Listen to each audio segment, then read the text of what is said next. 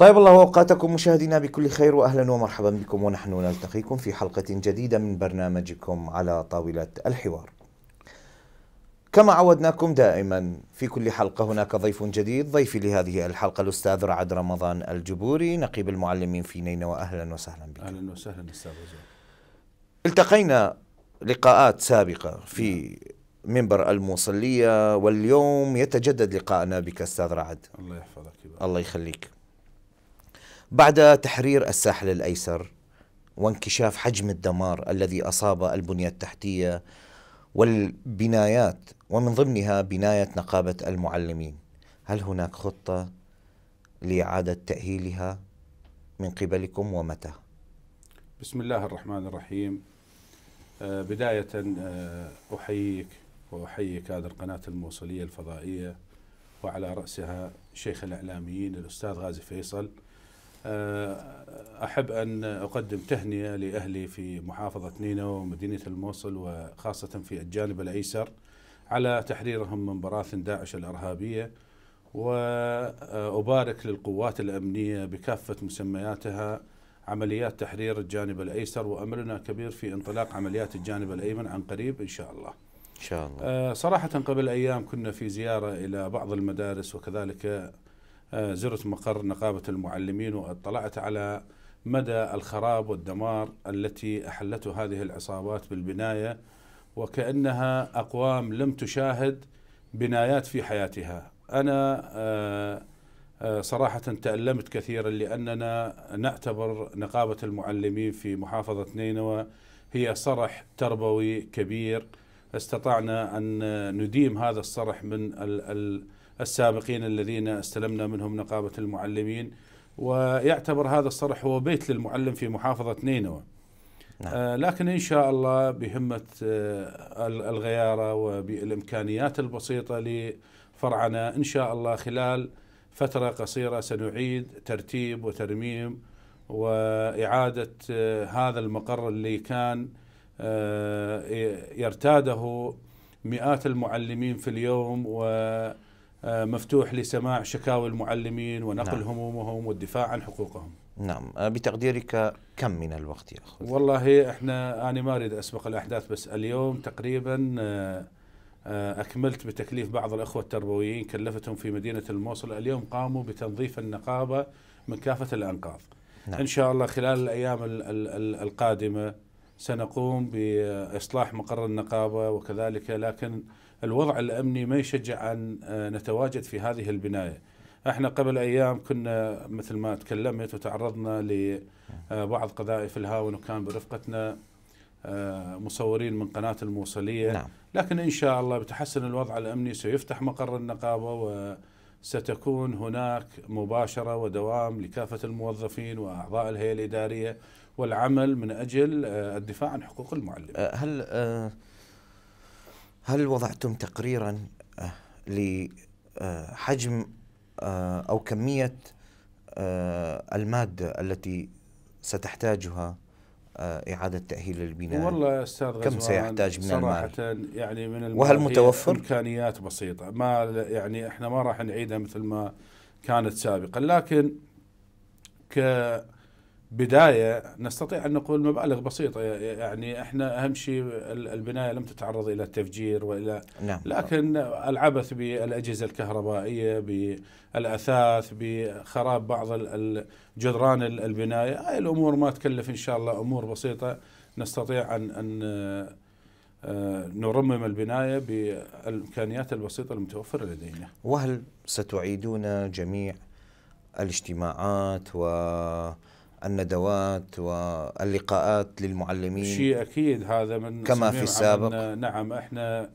آه، يعلم جميع الكوادر نعم. التربوية نعم. في محافظة نينوى وخاصة في مدينة الموصل بأن عمل النقابة هو عمل منظم ولدينا قطاعات منتخبة هذه القطاعات هي تمثل آه، مجموع المدارس في كل جهة من جهات الموصل متواصلين مع أخواننا وزملائي في القطاعات وكل قطاع فيه رئيس اجتماعاتنا الدورية وأني أطلقت آه، صراحة آه، عهد وإن شاء الله هذا العهد مرهون بتحرير بداية تحرير الجانب الأيمن لأن صراحة يوم واحد ثلاثة هو يوم آه، له مكانة متميزة في آه، لدى. المعلم وفي مكانة في نقابة المعلمين. فإن شاء الله مع بدء عمليات التحرير وإبعاد ال- الخطر عن بناية النقابة سنقوم في إقامة احتفالية كبرى في يوم واحد ثلاثة اللي يصادف عيد المعلم وهو آه، هذا اليوم له مكانة صراحة.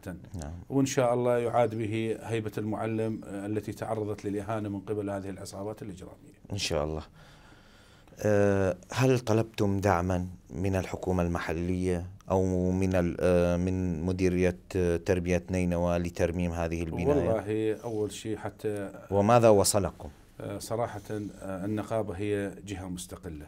التربية في جهة والنقابة في جهة. يعني إحنا ما تابعين للتربية صراحة. تمويل ذاتي؟ تمويل ذاتي نعم, نعم. نعتمد على اشتراكات من المعلمين نعم. إمكانيات من إيجار بعض البنايات العائدة للنقابة. لكن الحكومة المحلية لم نطلب منها أي دعم صراحة. آه، لكون آه، نحن نعلم بأن هناك ظروف صعبة و ولا يوجد. إحنا قبل اليوم أنا من 2009 آه، أمارس عملي كنقيب للمعلمين في محافظة نينوى. عندما طلبنا من ال- الحكومات السابقة اللي كانت تدير المحافظة قبل سقوط المدينة بيد داعش كان الجواب بأن لا يوجد تبويب للصرف على بنايات النقابات أو للصرف على النقابات. نعم. مع العلم ويسمعني الإخوان قد يجوز في محافظات الجنوب محافظ النجف خصص مبلغ 450 مليون دينار لترميم بناية نقابة المعلمين ولإقامة النشاطات. إحنا عندما راجعنا ال- ال- المحافظ السابق وطرحنا الموضوع أجابنا بأن ال- المبلغ اللي يستطيع توفيره للنقابة هو 500 ألف دينار في ذلك الوقت شهريا. يعني نعم كل شهر المحافظ يتبرع ب 500 ألف دينار لل لل للنقابة. وأنا أجبته في ذلك الوقت وكان برفقة زملائي في الهيئة الإدارية بأن النقابة تتبرع بمبلغ مليون دينار للمحافظة ولا نستقبل ال 500 ألف. فإحنا صراحة آه، تمويلنا ذاتي لا نحتاج إلا لجماهير المعلمين إلا لكوادرنا. اعتمادنا على مبالغ من الهويات اعتمادنا على إيجار بعض البنايات.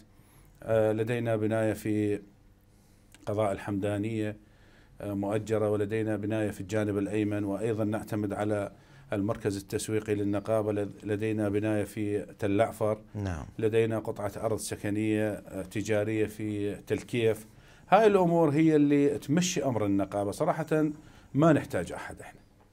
شاء نحتاج. اليوم بأن تكون النقابة قوية وندافع عن حقوق المعلمين. أما موضوع المال والتبرعات إن شاء الله إحنا قادرين على أن نوفر قدر المستطاع لكن إذا آه، أرادت الحكومة المحلية مساعدتنا فإحنا من خلال الإعلام آه، نناشدهم بمساعدة المعلمين المتواجدين في مدينة الموصل لأنهم نعم. عانوا ما عانوا في هذه الفترة وفي الفترات السابقة. نعم جميل. مديرية البلديات نعم. أعطت 19 شهرا دفعة واحدة كرواتب نعم. متراكمة ل 700 موظف ماذا عن رواتب المعلمين المتراكمة للكوادر الموجودة داخل الموصل؟ آه، موضوع الرواتب المدخرة هو من المواضيع الشائكة والمعقدة صراحة. نعم. أنا اليوم من خلال منبر قناة الموصلية طالبت قبل فترة وأطالب اليوم وسنبقى نطالب بإطلاق الرواتب المدخرة. لكن لم نلقي أي شيء رسمي لحد الآن من قبل وزارة التربية ومديرية تربية نينوى سوى التصريحات بالإعلام. اليوم المعلم لديه في ذمة التربية وفي ذمة الحكومة أكثر من 18 راتب. يعني الرواتب قطعة أستاذ غزواني في شهر حزيران 2015 من ذلك التاريخ إلى هذا التاريخ يعني تقريبا أقل موظف أو معلم أو مدرس في تربية نينوى آه، لديه في ذمة التربية أكثر من 17 أو 18 راتب. نعم. صراحة هناك قلق شديد لدى الكوادر التدريسية وقلق شديد لدينا كمسؤولين عن ملف المعلمين وعن رواتب المعلمين وعن الكوادر التدريسية. آه، الرواتب المدخرة لم تطلق من شهر الواحد. يعني إحنا بداية صراحة من شهر الواحد؟ شهر الواحد 2016 يعني آخر سنة. دفعة من سنة كان في السابق عندما يأتي المعلم يسجل مباشرته في أربيل أو في دهوك أو في بغداد خلال أيام يستلم الرواتب المدخرة. يعني هل تقصد أن المعلمين داخل الموصل رواتبهم المتراكمة تبلغ 13 شهرا؟ آه 18 شهر تقريبا. 18 شهر. يعني من شهر الواحد 2016 يعني لا 13 أستاذ أستاذ شهر لا مو هذا. إحنا الرواتب توقفت شهر السادس 2015 نعم صحيح. لكن بعد هذا التاريخ اللي وصل تحت سيطرة الحكومة المركزية وباشر بعمله صرفت له المدخرات. اللي باشر شهر الواحد 2016 من ذلك التاريخ لم تصرف أي مبالغ من الرواتب المدخرة. نعم. لحد الآن. لحد الآن نعم. والسبب صراحة أنا يعني ناشدت وزارة التربية وناشدت تربية نينوى بإيضاح هذا الموضوع وأمام الإعلام وبالوثائق الرسمية. نعم السبب اليوم- سأقول لك أحد الأسباب. في لقاء لنا مع وكيل وزير التربية نعم. قبل عدة أيام طرحت نفس السؤال قال مدير قال بالحرف الواحد مدير مديرية البلديات عدد موظفيها قليل. لا يضاهي ربع أكيد. ربع عدد المعلمين وهذا كلام معقول. نعم نعم. نعم. آه، ألا يعني آه، إحنا- تعتقد أن هذا سبب رئيسي كون الكوادر بأعداد هائلة؟ إحنا مو الكوادر حاليا مو كلها اللي وصلت وباشرت بالوظائف. أنا مو كلامي طعن بكلام السيد الوكيل أو كلام السيد المدير العام لكن إحنا اليوم نريد شيء ملموس على الساحة. إحنا اليوم عندما المعلم أنت جنابك تكلمت عن أعداد هائلة نعم. لكن الأعداد الهائلة بعد ما تحررت قسم. يعني خلي يوفرون الأيمن. مبالغ نعم. خلي نعم. بالأقضية وبالأيمن بال- نعم. حتى الجانب ال- ال- الأيسر. هو قبل آه، فترة لا تتجاوز ال- الأيام أو شهر من اكمال تحرير الجانب الأيسر. إذا المشكلة كبيرة. المشكلة كبيرة وحسب معلوماتي الرواتب آه، أكثر من 400 مليار هي الرواتب المدخرة للمعلمين بصورة عامة. أنا لدي معلومات وأريد أن أوضحها لكافة المعلمين والمدرسين. لأن هي حقوق بذمتنا ولازم نطلعهم على كل صغيرة وكبيرة بموضوع الرواتب، المعلومات المتوفرة لدي ويعني أرجو أن لا تؤخذ هذه المعلومات لكن اللي وصلنا بأن هناك خطأ. خطأ في حسابات تربية نينوى وحسابات الوزارة عندما كانت الرواتب تصرف. ال- المعلومات اللي عندي رواتب تربية نينوى 40 مليار دينار الكلي. نعم. يعني إحنا الرواتب قطعت يوم آه، شهر السادس 2015 إلى حد هذا التاريخ الرواتب تصرف 40 مليار دينار. ال- ال- الرواتب الخاصة بالنازحين 12 إلى 13 مليار والرواتب المتبقية اللي هي 28 أو 27 تذهب إلى مدينة الموصل كانت. نعم. عندما مجلس الوزراء أصدر قرار بأن الرواتب توضع بالادخار اللي خارج سيطرة الحكومة المركزية. تجمد نعم. نعم توضع بالادخار. اللي حصل كالآتي وهذا الكلام إذا فيه شيء من الاختلاف هل يظهر أحد المسؤولين بالتربية سواء في تربية نينوى؟ ويقول هذا الكلام غير صحيح هذا الكلام موجود. قانونا وحسب التعليمات عندما تصرف الرواتب تصرف الأربعين مليار بصورة مبدئية بعد القطع يعني. نعم. تصرف الأربعين مليار. تعزل رواتب النازحين اللي بالغ 13 مليار. المتبقي من الرواتب يذهب للادخار. صحيح. هاي هي التعليمات. اللي عملوا تربية نينوى والحسابات كانوا يصرفون فقط 13 مليار. اللي هي ما مع. النازحين فقط. رواتب ال ال ال هذا الكلام. هم اللي أطلقوا جماعة التربية أطلعونا بهذا الموضوع. الحسابات حسب ال- القوانين والتعليمات أنا ما عندي معلومات بمواضيع القيود المالية. عفوا لا يوجد قيد مالي في هذه ال- ال- المبالغ. عفوا ال 27 مليار المدخرة نعم. آه تدخر في الوزارة في بغداد أم هنا؟ ما كان لا هي تدخر يفترض أعتقد في المديرية؟ في وزارة المالية. هذا هو الإشكال. نعم. يعني أنت تقصد المفروض يدخر في المديرية؟ المفروض هي ما تستلم 40 مليار؟ تستلم 40 مليار. نعم. 13 توزعها للنازحين ويبقى السبعة. 27 تذهب للادخار. أصلا التربية كانت يعني تنظم صك ب 13 مليار فقط. نعم. وال 27 هذا- لم ينظم بها صك. نعم موضوع كبير سنكمله بعد الفاصل. مشاهدينا نذهب إلى فاصل ونعود لنكمل حلقة اليوم. تابعونا.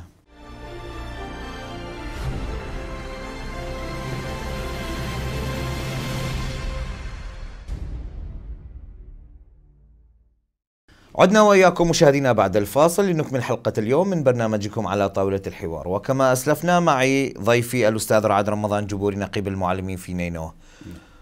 قبل الفاصل كنا نتكلم عن رواتب المعلمين المدخرة نعم. وكيفية توزيعها من قبل حسابات تربية نينوى. نعم.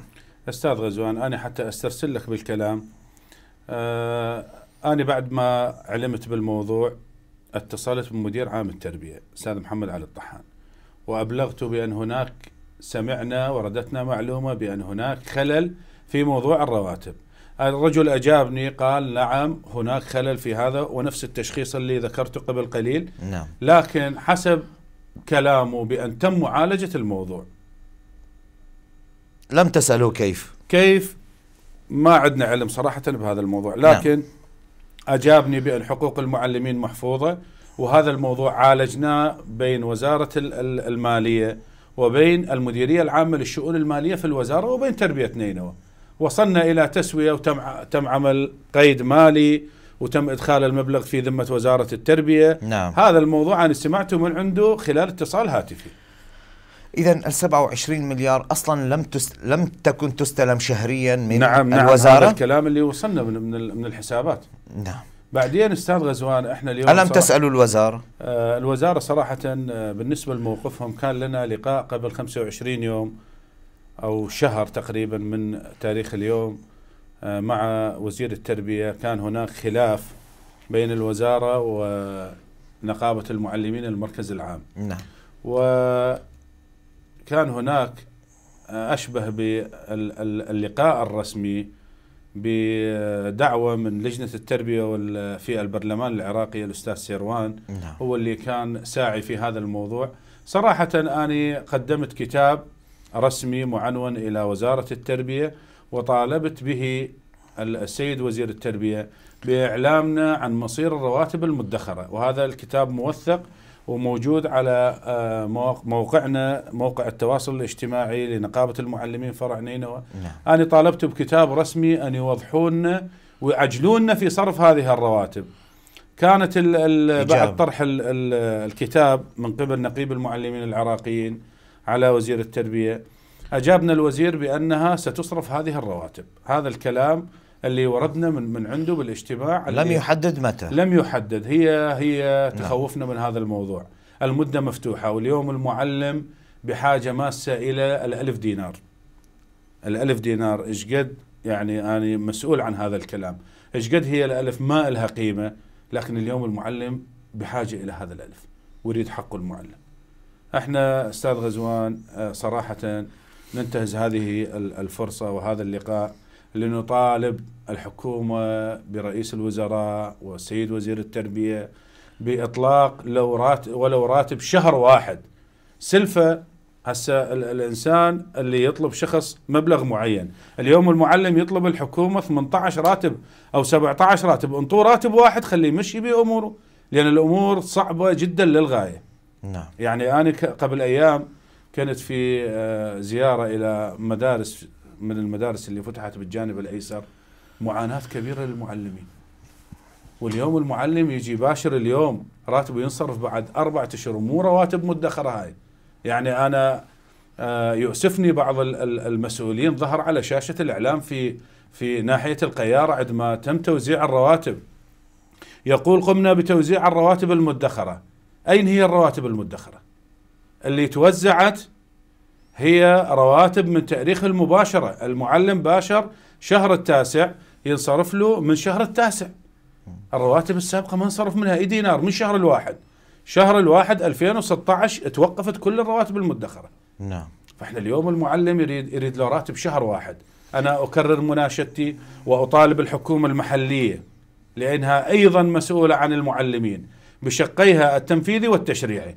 أطالبهم بالتدخل لوجود حل لموضوع الرواتب المدخرة ولمطالبة الحكومة المركزية بصرف راتب ولو لشهر واحد أو مبلغ من المال كسلفة من رواتبهم اللي هم هي بذمة الحكومة لتمشية أمورهم.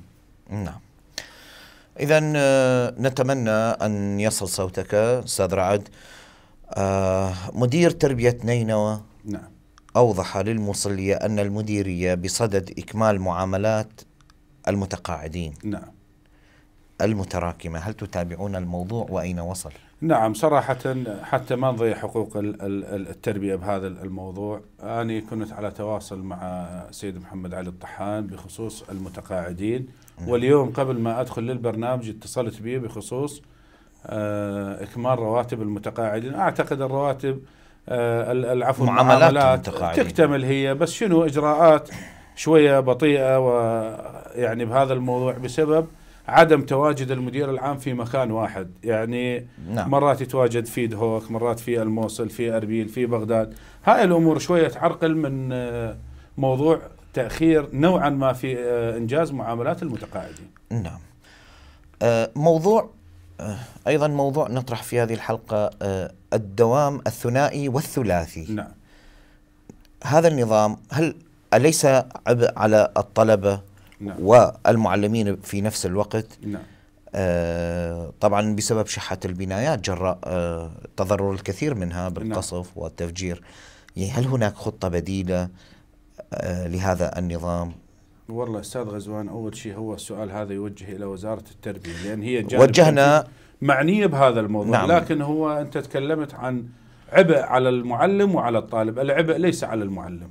لأن دائما في ال- الدوام الثلاثي في كل دوام يوجد وجبة من المعلمين آه، تقوم بالت- بالتعليم لكن العبء على على الطالب. الطالب. كذلك المعلم يعاني في هذه ال- ال- الدوام. من شيء واحد هو موضوع الوقت. عدم إعطاء ال- الدرس بصورة كاملة.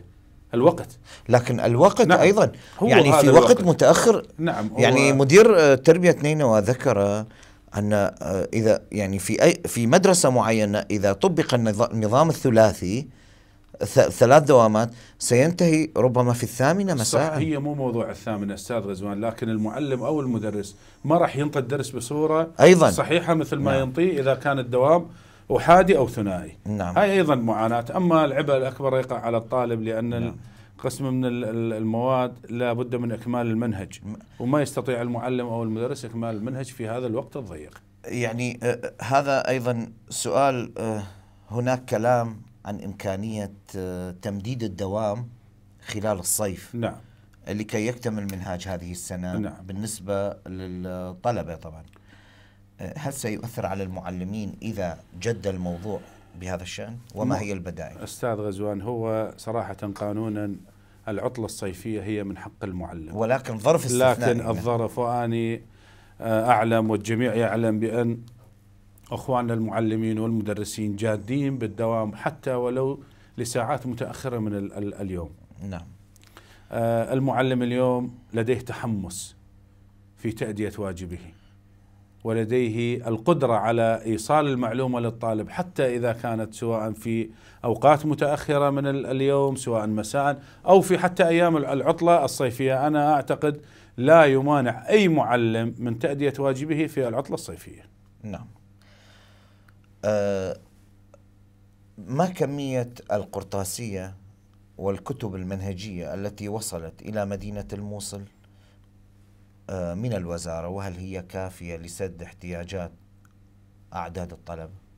والله أستاذ أني زرت مدرسة قبل أيام وطبعا هي ما موزع الكتب إلى قبل يمكن أعتقد أو يوم أو يومين لكن حسب معلوماتي ال- الكتب أصلا فيها نقص لأن تدري موضوع نقص المناهج يعني مثلا كتب السادس العلمي ال- الثالث المتوسط أو الثاني كل المراحل هي بها نقص أصلا بالمناهج. نعم. فمشكلة ال- اللي راح تتعامل وتتلاقيها ال- ال- التربية مع الأهالي إمكانية طبع واستنساخ الكتب. قد يجوز ال- ال- يعني سيضطر الأهالي شيء للاستنساخ. هذا شيء أكيد وهذا ما ماكو إمكانية. يعني اليوم المواطن الموصلي خارج من من من محنة. ضنك ومن من من محنة كبيرة. كيف لي ال- اللي عنده ثلاث أو أربع طلاب أو تلاميذ بال- بالبيت يقوم باستنساخ كتب لو لو يعيش ال- الطلاب أو يوفر لهم الملابس أو يوفر لهم الأكل والشرب يرجع عبء آخر هو الاستنساخ. أنا أعتقد الكتب غير مكتملة و- وطالب تربية تعتقد أم نينو متأكد؟ لا لا أنا متأكد من خلال آه، سؤالي لبعض الإدارات. أبلغوهم لأن ماكو مناهجية أصلا بالوزارة ماكو. فاني أناشد. وزير التربية ومدير تربية نينوى. وزير التربية بصفته ابن نينوى أن يوفر الكتب وبكافة ال- ال- الكتب والمناهج وكافة المسميات لكافة المراحل. لأن اليوم أهلنا بالموصل تعبانين وما عندهم إمكانية. يعني أقل كتاب يستنسخ بخمسة آلاف دينار.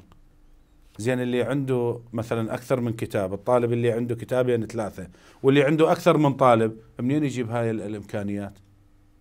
فأنا أناشدهم من خلال منبر قناة الموصلية أناشد ال- ال- ال- الحكومة المحلية بالتدخل لطباعة الكتب لتوفير كتب لتوفير قرطاسية. أهم شيء هي الكتب المنهجية. إحنا القرطاسية ممكن أن يعني قسم الأمور نقدر الطالب يخلي أكثر من مادة بدفتر. الآن تكلمنا عن نعم. الكتب. أما موضوع الكتب هو موضوع اما أما موضوع القرطاسية هل هي هل؟ القرطاسية حسب كلام مدير التربية عن القرطاسية بأنها كافية. ويتحمل هو هذا الكلام لأن أنا اتصلت به قال وردتنا أكثر من 29 شاحنة. 34 شهر هو كلامه بالبداية كان 29 نعم. فأجابنا بأن محملة بالكتب والقرطاسية. إحنا راح تفتح المدارس. أعتقد آه، كبداية فتحت 70 مدرسة وكمرحلة ثانية تم التهيئة لفتح 80 مدرسة. يعني راح تتجاوز المدارس أكثر من 150 مدرسة في الجانب الأيسر. نعم. نعم هي هذا اللي متواجد فيها حاليا. نعم آه، أستاذ رعد آه، كيف تجد إقبال المعلمين والطلاب على الدوام بعد بدءه قبل عدة أيام؟ نعم. آه، داخل الموصل وما هي أبرز معوقات الدوام حاليا؟ عدا عدم اكتمال نعم المناهج. نعم هي صراحة يعني بالنسبة للطرفين لاحظت لاحظت هناك تحمس كبير من قبل المعلمين وكذلك الطلبة والتلاميذ. في الدوام الرسمي لأن جميل. المنهاج اللي كان يتعامل به داعش هو منهاج يختلف ويتنافى مع الأعراف ويتنافى مع ال- ال- العلم اللي تع- تعودنا عليه في دراستنا. لكن هناك بعض المعوقات اللي أعتبرها أنا بسيطة ويمكن التجاوز على هذه المعوقات من خلال الدعم الحكومي منها موضوع زجاج النوافذ. الأغلب آه، المدارس زجاجها مكسر. يعني في هذا البرد هل تعتقد أن زجاج النوافذ المكسور ضروري. هو ثانوي؟ لا ضروري هذا أستاذ نعم. لكن أنا طيب، أقول لك بسيط هو ممكن تجاوزه من خلال ال ال الإمكانيات المتوفرة في الحكومة. نعم. ولكن هو موضوع ضروري جدا. النفط نعم. أيضا المدارس تشكو من عدم وجود نفط نهائيا. كذلك الماء يعني استخدام ال- ال- ال- المرافق الصحية مياه الشرب هذه المو- نعم. تكاد تكون أكيد. معدومة. أنا أطالب الحكومة المركزية بأن توفر ال- ال- ال- السيارات الحوضية لنقل الماء اذ لم تستطيع لأن مشروع الماء حسب معلوماتنا هو قد يجوز يتأخر لحين إصلاحه من ال- ال- الخراب اللي لحقوا من عصابات داعش. نعم. لكن بالإمكان أن ينظم جدول للسيارات الحوضية المتواجدة في سواء في دائرة الماء والمج... ال- الماء أو سواء في بلديات محافظه نينوى. نعم. اذا آه، هذه أبرز المعوقات نعم هاي اللي اطلعنا عليها. ومعالجتها بسيطة معالجتها ممكن تقول. يعني إمكانيات بسيطة ممكن تجاوز هذا الموضوع. نعم آه اذا آه أيضا نعود ل آه كما أسلفنا أن آه الصيف القادم بحرارته لن يؤثر على عزيمة المعلمين شيء أكيد. آه وسيكملون المنهج إن شاء الله لهذه السنة كي لا تضيع نعم هذه السنة شيء أكيد هذا لكن مقابل هذا الشيء إحنا نطالب بحقوق هاي المعلمين. المعلم عندما خرج من هاي المحنة يريد أيضا المعلم وراء عائلة أطفال نعم. إيجارات المعلم اليوم مكبل بالديون بمبالغ طائلة ينتظر موضوع الرواتب المدخرة يعني هو إذا نرجع إلى أوليات الموضوع شيء مترابط بشيء آخر نعم. يعني إحنا صراحة أكو موضوع أيضا أنا ثبته قبل قليل تم الاتصال بأجور لحد الآن أجور المراقبات بالنسبة لل ال- ال- المعلمين أو المدرسين للدور الثاني للعام الماضي لم تصرف لحد الآن. نعم. مع العلم سياسة وزارة التربية بالنسبة لأجور المراقبات تصرف قبل الامتحان. نعم. قبل بدء الامتحان. إحنا من كنا مدينة الموصل. الوزارة تخصص صحيح. مبالغ للامتحانات. وتصرف قبل. بدء الامتحانات. نعم. وتصرف هي لل- للمعلمين. تصرف بعد انهاء الامتحانات. لكن تحول هذه الموازنة إلى المديريات قبل بدء الامتحانات. جميل. كيف اليوم الدور الثاني مال العام الماضي لم تصرف؟ عندنا أجور المشرفين. أيضاً. المشرفين يقومون بزيارات إلى المدارس آه، على مبالغ معينة. ال- الأجور لم تصرف منذ عدة أشهر. نعم. هذه أيضا كلها متراكمة. شيء أكيد. نعم. شيء. آه نذهب إلى فاصل أستاذ رعد آخر نعم. ونكمل بعده الحلقة مشاهدينا كونوا معنا بعد الفاصل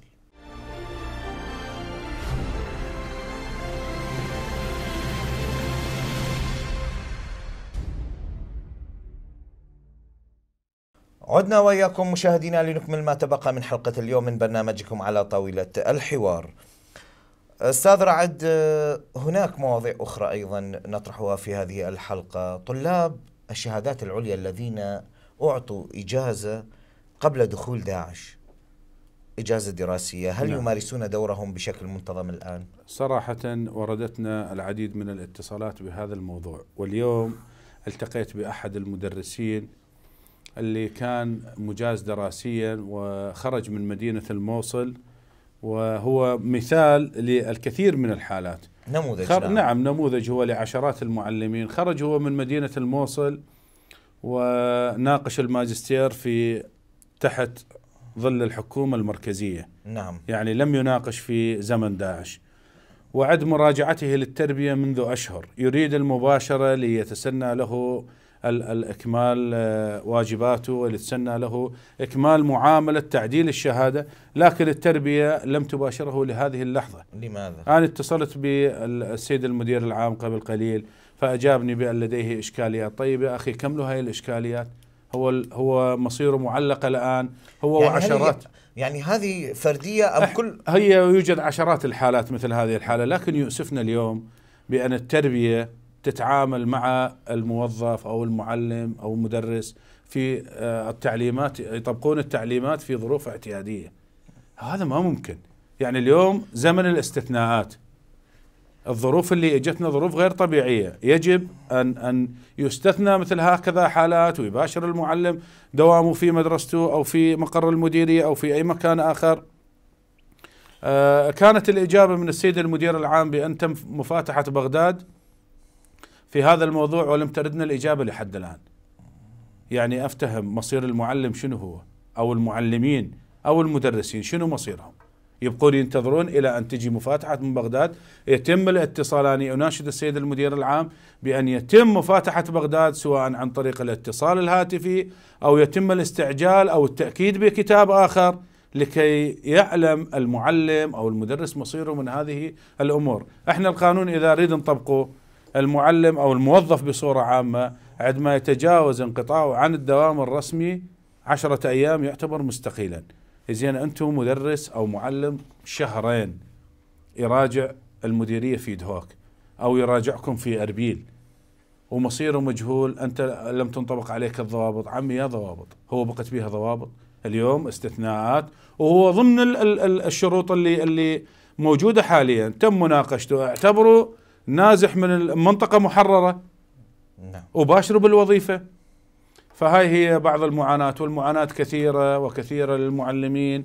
لكن أني آه، أعيد وأكرر على مطلبنا الرئيسي وراح يكون هو هذا هدفنا بأن تصرف الرواتب في وقتها المحدد. كذلك اليوم إحنا بدينا بشهر الثاني ورواتب الواحد أيضا إجراءات حسب آه، كلام السيد المدير العام قبل قليل.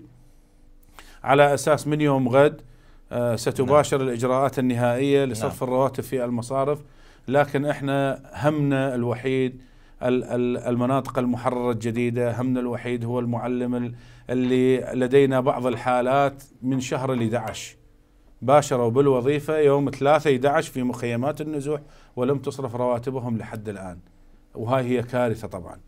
المعلم أو الموظف عندما يباشر منذ أكثر من أربعة أشهر أني أناشد من خلال منبر قناة الموصلية الجهات الأمنية ذات العلاقة والمسؤولة عن الت- التدقيق الأمني والتصاريح الأمنية. الإسراع لأن التربية عندما نتصل بهم تكون الإجابة دائما بأن التصاريح الأمنية لم تصل لحد هذه اللحظة. أنا أناشد أخواننا في الأجهزة الأمنية آه، بالإسراع لأن هاي أرزاق ناس والمعلم اليوم. إحنا اللي عليه مؤشر أمني. ما حد يمكن أن يقدر يدافع عنه ولا ولا باستطاعة أي شخص أن يغطي على شخص مطلوب للحكومة لارتكابه أعمال إجرامية لكن المعلم البريء اللي لم تثبت إدانته اللي اللي لم يشارك في أي عمل إجرامي نريد اليوم رواتبهم تصرف صح. وهي حقوق نعم آه، أيضا أضيف آه، إن شاء الله آه، سنبدأ بزيارات ميدانية إلى المدارس في أنحاء الساحل الأيسر لأنها آه، مدارس فتحت جديدا نعم. وتحتاج إلى الدعم المعنوي. كذلك هناك بعض المساعدات إن شاء الله اللي راح نوصلها لكوادرنا خلال الأيام من ال- النقابة؟ من النقابة حصرا نعم وهي من أموال المعلمين. استطعنا أن إن شاء الله كدفعة أولى آه، في حسباننا وفي تقديراتنا الحسابية إن شاء الله راح نهيئ ألف حصة غذائية توزع على المدارس آه، اللي نستطيع أن نوزعها والبقية يعذرونا أخوانا لأن ما عندنا الإمكانيات اللي نغطي بها أعدادنا بالآلاف. نعم. ما عندنا الإمكانيات. أنا أطلب أطالب الحكومة المركزية والمنظمات بمساعدة النقابة كذلك حكومه نينوى المحليه اللي إحنا قبل ما احتاجينا صراحة لكن حجم الدمار والخراب اللي تعرضنا له بهذه الفترة آه، أدى إلى حاجتنا إلى وهي حقوق طبعا هو عندما الحكومة المحلية سواء محافظ نينوى أو مجلس المحافظة يقوم بإبداء المساعدة للمعلمين هو مواطن، المعلم مواطن حاله حال أي مواطن توزعت له المواد الغذائية. إحنا اليوم نطالب أيضا آه، الجهات الحكومية، نطالب محافظ نينوى بمساعدة المعلمين وتقديم المساعدات وإن شاء الله نحتفي مع كل الكوادر التربوية في ال- ال- المحافظة نينوى بصورة عامة وفي الجانب الأيمن الذي إن شاء الله ستنطلق عملياته آه، بعد أيام. ومثل ما عاهدت إخواني ستعيد نشاط سنعيد نشاط نقابة المعلمين مثل ما كانت عليه سابقا وأكثر لأن التحديات أصبحت كبيرة. ويجب أن يكون المعلم هو القدوة لأن المعلم فضله على الجميع ولا يستطيع أحد أن ينكر دور المعلم والمعلم آه، يكفينا فخرا بأن معلمنا هو الرسول محمد صلى الله عليه وسلم. كذلك آه، أناشد آه، أخواني من الكوادر التدريسية في المناطق المحررة بشد ال- ال- العزيمة والهمم. وأنا أطالب أيضا فرصة لأخواني الكوادر التدريسية في قضاء الحمدانية وناحية برطلة بالعودة ومباشرة أعمالهم وتعود نشاطات الحمدانية وبغديده إلى عهدها السابق عندما كنا نحضر السباقات الرياضية المتميزة لتربية الحمدانية بكافة كوادرها وبكافة مسمياتها وبكافة طوائفها. أنا اليوم. آه، فرح جدا لفتح مدارس في الساحل الأيسر وكذلك بدأ الدوام الرسمي وإن شاء الله آه، سنبقى نواصل عملنا في نقابة المعلمين وسنكون المدافعين عن حقوق المعلمين وإن شاء الله تصرف رواتب المعلمين والرواتب المدخرة اللي هي حق عن المعلم لن ولن نتنازل عنه ابدا. نعم أسألك أستاذ رعد عن آه، مدى استحصالكم آه، لاشتراكات المعلمين نعم. بالنسبة للنازحين نعم. هل هم مواظبون على دفع الاشتراكات آه، خلال سنتين ونصف من التهجير نعم. آه، وأيضا كيف ستستقطعون آه، اشتراكات المعلمين الذين لم يستلموا نعم. رواتبهم المدخرة إحنا استاذي الفاضل صراحة الانتماء إلى نقابة المعلمين هو انتماء اختياري وليس إجباري. نعم يعني برغبة المعلم، صراحة آه، كانت هناك أعداد لكن ليست بمستوى الطموح من ال- ال- المعلمين النازحين في ال- الإقليم، هذا الموضوع آه، يعني صراحة إحنا ما أستطيع لأن هذا قانون، ما أستطيع أن أشرع تعليمات بخصوص موضوع الاشتراكات، لكن إحنا آه، دائما نكون بجانب المعلم. نعم. لا كان سؤالي عفوا واضح أستاذ سؤالك بالنسبة لل لا اللي بالنسبة للنازحين هل واظبوا على واظبوا لكن ليست بالصورة ال- ال- مثل ما كنا نتوقعها بأن نقابتهم هي الجميع ينتمي. لم ينتمي يعني لم يجدد ولم لم هي الك- يجد لم تجدد ال- ال- الكثير من المعلمين اشتراك. موضوع ال- الهويات والاشتراك. لكن آه راح نكون داعمين للمعلمين. بفتح مراكز تسويقية وإعادتها برأيك افضل لماذا أفضل من قبل. برأيك لماذا لم يجددوا الكثير منهم؟ والله صراحة آه، مو هي فجوة بين المعلم والنقابة لكن آه، عزوف بعض المعلمين اللي ما السبب أنا ما ما عندي سبب واضح لكن السبب يعلم هو المعلم اللي لم ينتمي. لكن هناك انتماءات وهناك تواصل نعم. وهناك آه، آه، وقوف لنا للكثير من الحالات للمعلمين النازحين وفي المناطق المحررة. لكن آه، إن شاء الله آه، سنمد ال- التعاون بيننا وبين كل تربوي من محافظة نينوى وسنعيد نقابة المعلمين أفضل من سابقها في فتح مراكزها التسويقية لكن بصورة تدريجية لأن الإمكانيات مثل ما تحددت ليست بإمكانيات عالية لكن إمكانيات محدودة. إن شاء الله نستطيع إن شاء نوفر الله. الشيء اللي آه، يخفف عن كاهل المعلمين. آه، برنامجنا أستاذ رعد شرف على الانتهاء قبل الانتهاء. كلمة أخيرة تقولها لاهالي نينوى وللكادر التعليمي آه، والتدريسي للمعلمين والمدرسين في نينوى. نعم كلمة أخيرة أوجهها لأهلي في المناطق ال- التي لم تحرر لحد الآن وأخص منهم ال- ال- المعلمين والمدرسين لأن من ضمن مسؤوليتنا أقول لهم إن شاء الله الفرج قريب وصبرتم لسنين وإن شاء الله خلال فترة قصيرة سيحرر الجانب الأيمن. كذلك آه، أشد على يد إخواني من الكوادر التدريسية في كافة المناطق المحررة وخاصة في الجانب الأيسر.